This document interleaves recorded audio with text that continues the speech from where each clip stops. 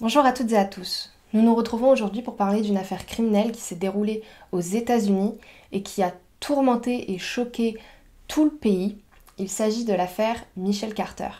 J'espère que cette vidéo va vous plaire et qu'elle va peut-être vous apprendre de nouvelles choses sur cette affaire. Petite parenthèse, si vous êtes très sensible à des sujets tels que le suicide, l'automutilation, euh, l'harcèlement, l'anorexie, ce genre de choses, euh, cette vidéo n'est peut-être pas faite pour vous, donc je vous déconseille de la regarder. Sur ce, je pense qu'on a tout dit, donc c'est parti.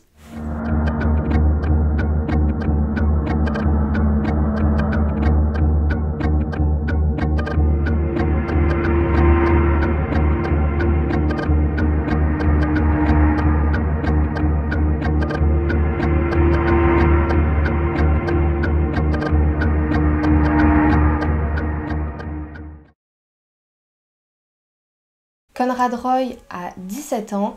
Il est né le 12 septembre 1995 à Mattapoisett dans le Massachusetts où il vivra toute sa vie.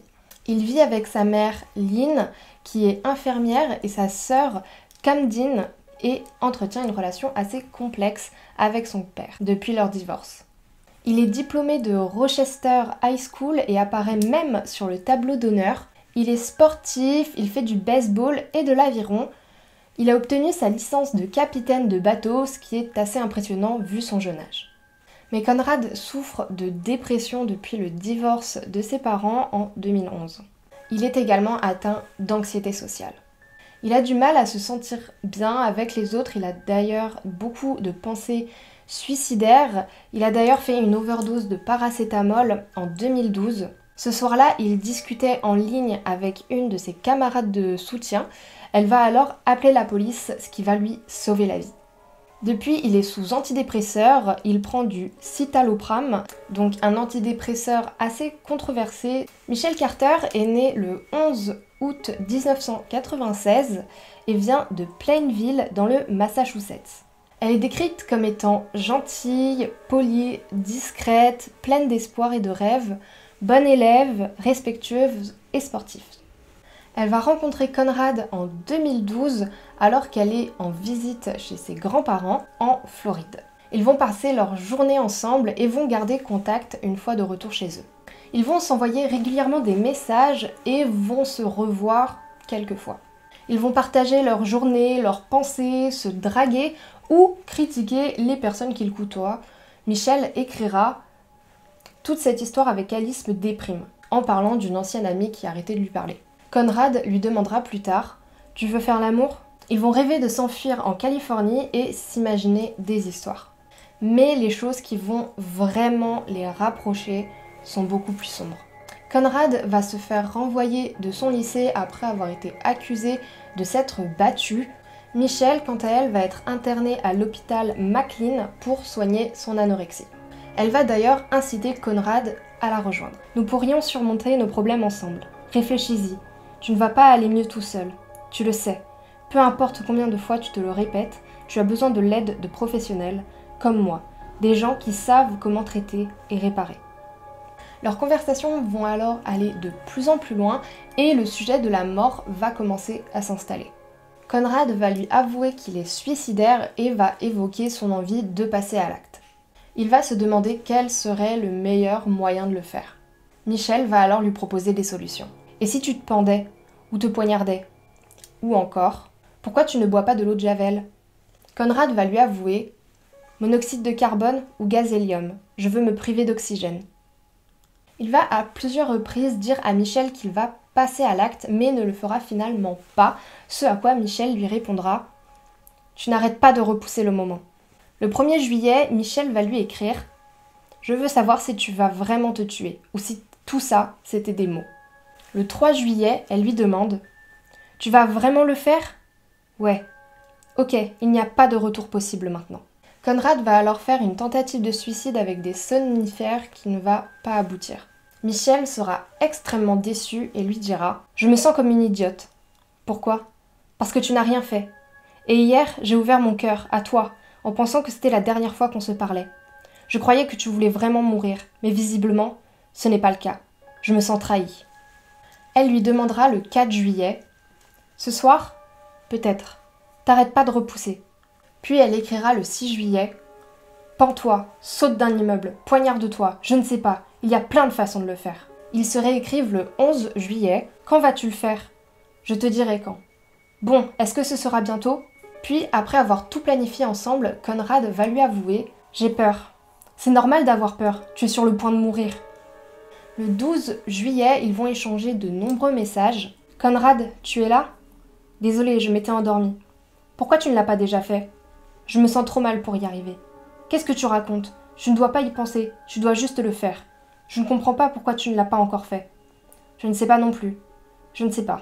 Alors j'imagine que tu ne vas pas le faire Tout ça pour rien Je le ferai, peut-être. Tu n'arrêtes pas de repousser. Et tu dis que tu vas le faire, mais tu ne le fais jamais. Tu rends les choses plus difficiles en repoussant. Tu dois juste le faire. Est-ce que tu vas le faire aujourd'hui? Oui. Fais-le tôt. Je ne te quitterai jamais. Tu es l'amour de ma vie, mon petit ami, mon cœur. Je t'aime. Je t'aime aussi. Ok, alors tu vas le faire. Je crois. Je ne sais pas. J'y pense trop. Tu ne dois pas y penser et juste le faire. Ok, je vais le faire aujourd'hui. Promets-le-moi. Je te le promets. Et tu n'as pas le droit de trahir une promesse. Va dans un parking calme ou quelque chose comme ça. Je n'arrête pas d'y penser. Arrête d'y penser et fais-le. N'attends plus. Et enfin, elle lui demandera Tu as bien effacé toutes nos conversations? Le 12 juillet 2014, Conrad va partir promener son chien sur la plage avec sa mère, puis il va prétexter devoir faire des courses. Il va envoyer un message à Michel disant Je vais le faire aujourd'hui. Il va se rendre sur le parking d'un supermarché vide, brancher le pot d'échappement de son véhicule à une pompe à eau et laisser le gaz se propager dans la voiture. À 18h28, il va appeler sa petite amie et ils vont parler pendant environ 43 minutes.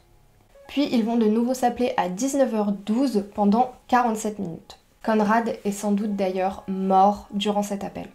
Le 13 juillet 2014, Conrad Roy est retrouvé mort dans son 4x4, d'après les éléments recueillis par les officiers de police. Michel Carter va être arrêté suite à la découverte de messages. La police va demander à Facebook de leur communiquer toutes leurs conversations.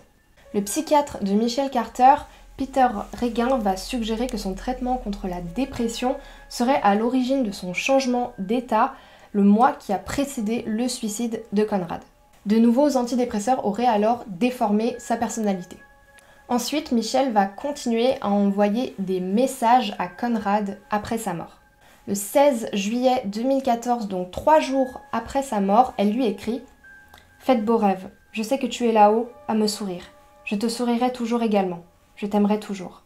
Elle écrira le 19 juillet Je suis triste de t'avoir laissé te tuer. J'aurais dû t'empêcher de le faire. Je t'aime tant. Je te souris en regardant là-haut. Est-ce que tu me vois? Tu es mon ange gardien et je sais que tu me souris comme tu me l'avais promis. Puis, le 30 juillet, je t'aime et tu me manques tous les jours. Je regarde les étoiles. Est-ce que tu me vois? Et enfin, le 18 août, ça fait un mois que tu es parti. J'espère que tu nous regardes en souriant. Tu me manques un peu plus tous les jours. Je t'aime. Ces messages peuvent montrer un certain regret de ses gestes et de ses paroles. En revanche, à partir de la découverte du corps de Conrad, Michelle va commencer à célébrer son petit ami mort. Le 14 juillet, elle va poster un dessin de Conrad sur Facebook avec des ailes d'ange, sa date de naissance et de mort, des petits cœurs et la phrase Je t'aime pour toujours Conrad, envole-toi mon ange. Le 19 juillet, ce sera une photo où sera écrit Le mot le plus dur à prononcer est adieu. Tu me manqueras toujours mon ange. Puis elle va se présenter comme une activiste anti-suicide. Même si je n'ai pas réussi à sauver la vie de mon petit ami, je veux essayer de sauver autant de vies que possible. Enfin, le 13 septembre 2014, soit deux mois après la mort de Conrad, Michelle va organiser un tournoi de baseball en sa mémoire. Elle va créer un événement Facebook et enverra à son amie Olivia Mosolgo Salut, j'ai fait une page Homers for Conrad sur Facebook. Je suis célèbre maintenant. Haha, Matza. En février 2015, Michel Carter va finalement être incarcérée pour homicide involontaire. À partir de cet instant, elle va recevoir l'interdiction de se rendre sur les réseaux sociaux en dehors de ses études. Le 5 juin 2017, le procès commence au tribunal de Tointon. de Michelle Carter vont être présentées par les parties adverses. Elles seront d'ailleurs comparées au Dr Jekyll et à Mr Hyde de Stevenson. Pour ceux qui ne connaissent pas, The Strange Case of Dr Jekyll and Mr Hyde de Stevenson raconte l'histoire d'un homme qui se dédouble et qui donc sépare son vice de sa vertu. Le juge va l'accuser de n'avoir rien fait pour sauver Conrad alors qu'elle savait qu'il était en train de se suicider. Elle n'a pas appelé la police ou la famille de Monsieur Roy. Elle n'a pas prévenu sa mère ou sa sœur, alors que quelques jours auparavant, elle avait demandé leur numéro de téléphone, et enfin, elle n'a pas donné cette simple instruction supplémentaire sort du 4x4. Par conséquent, le fait que Michelle n'a pas agi alors qu'elle avait une obligation qu'elle s'était elle-même créée constitue une conduite délibérée et imprudente. Les nombreux SMS échangés vont être révélés tels que Tu dois faire quelque chose rapidement, quelque chose qui mettra fin à tout ça, sans que tu ne te soucies de la douleur, écrit-elle le 5 juillet 2014. À la barre, Michael Bates, un policier venu témoigner, va lire une autre série de messages où Conrad explique qu'il est en colère à cause du passé et de ses regrets, ce à quoi Michel lui répondra en lui disant de se suicider. La Michelle Carter qui va être présentée par l'accusation est une sociopathe en recherche permanente d'attention. Elle se montrait très entourée sur les réseaux sociaux, mais en réalité, dans la vraie vie, ce n'était pas réellement le cas. De plus, plusieurs éléments vont appuyer l'idée que Michelle est sciemment et consciemment manipulé Conrad. Tout d'abord, elle va faire preuve de duplicité. Elle lui a demandé de supprimer les messages et a joué l'incertitude le concernant auprès de sa famille le soir de son suicide. Elle aurait poussé le jeune homme au suicide pour en tirer le bénéfice d'une validation sociale et inédite. Elle aurait voulu obtenir le rôle de la petite amie en deuil afin d'accéder à cette attention qu'elle réclamait. Et en effet, après le suicide de son petit ami, elle a reçu énormément d'attention. Elle est devenue quelqu'un.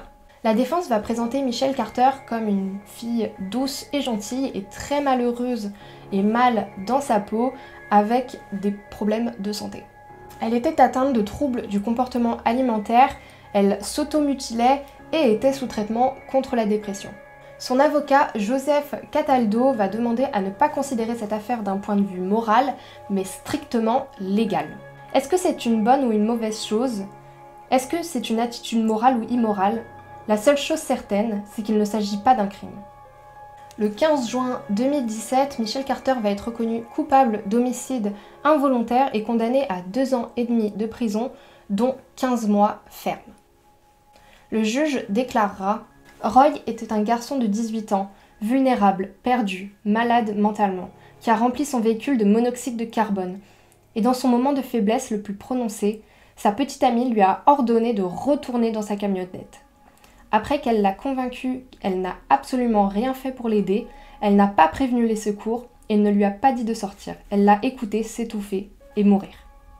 Ses avocats vont à plusieurs reprises faire appel, affirmant que ses propos auprès de son petit ami étaient protégés par le premier amendement sur la liberté d'expression, mais tous seront rejetés.